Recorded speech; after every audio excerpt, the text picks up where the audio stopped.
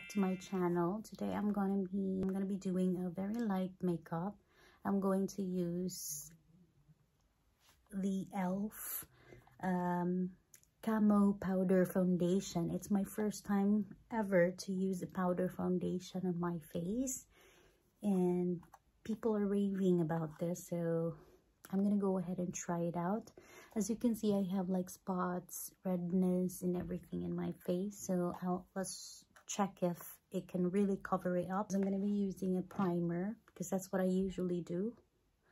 I usually use primer before my foundation and then i'm going to conceal first before i apply this because this is powder. And it's so difficult it's confusing because I just usually use a liquid or a cream foundation or a stick one. So this is my first time.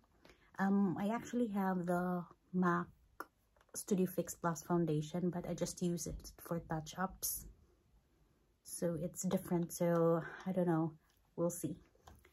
Let's try their I'm gonna use the e.l.f poreless putty primer since I'm using the that's a lot. Since I'm using elf let's use elf primer too so before I proceed um, I just want to read the details about the product it's a primer infused pressed powder foundation that delivers buildable coverage and an airbrushed finish though. Um, my shade is medium 3301. It's a long-lasting foundation. That's what it claims. Some of the reviews are not good. But yeah, so I'm here to try it out. And let's see how it looks like on my skin I'm just gonna use the sponge that comes with a powder yeah. and let's do this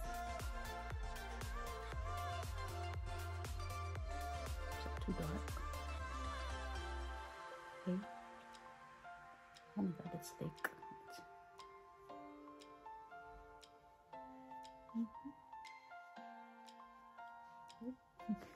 I don't know how to use a powder foundation. Too dark on my skin, it's just bright. There it goes. Ooh. A bit dark. No. Or just right. here. just right. I don't know how to use, use this. Okay.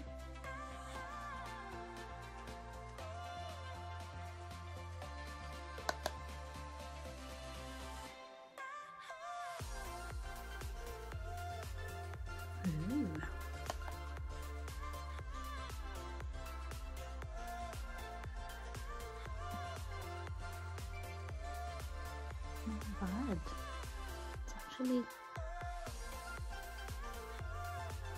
it's nice.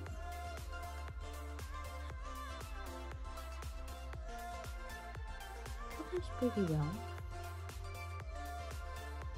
Okay. Try sa agtang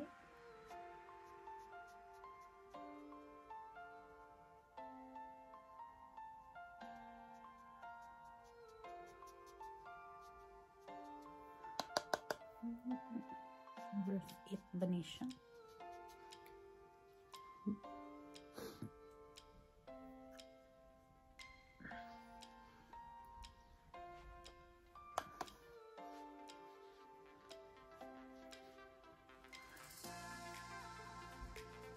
So this is the side of my face with the foundation and this is the one without.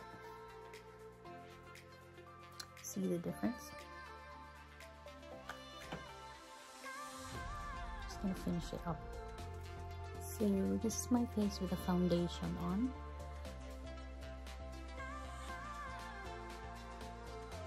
Mm. Oh, really covers so I'm gonna finish my face out. I'm gonna apply blush contour, lipstick and everything.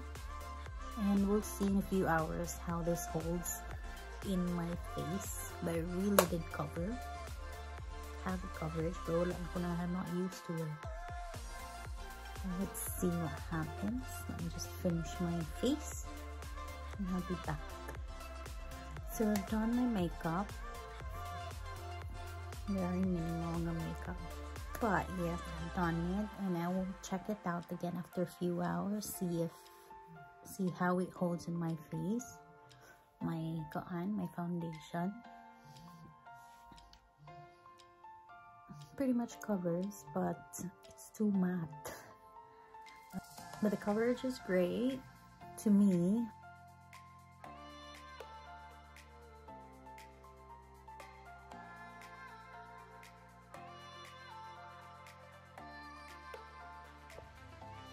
So this is how it looks like after 3 hours. Natural light lang niya and close to the window. Intact pa siya. Yeah. It's still covering my acne and dark spots. So yeah, it's actually great. I might be able to use it again. Hmm. Nice. And I only bought the powder for only 11 pounds. That's a lot cheaper than other brands. So it's worth it. Yeah.